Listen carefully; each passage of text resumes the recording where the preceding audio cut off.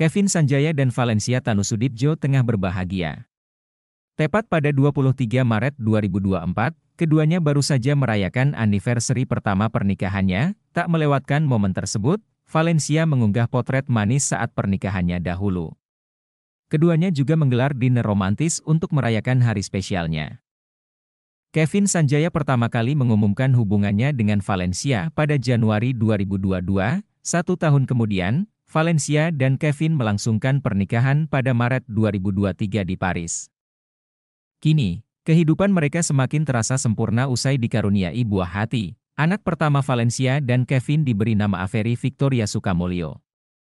Beginilah momen dinner romantis Valencia dan Kevin. Ada kue yang menandakan tanggal pernikahan keduanya, pasangan tersebut menggelar dinner anniversary di restoran mewah.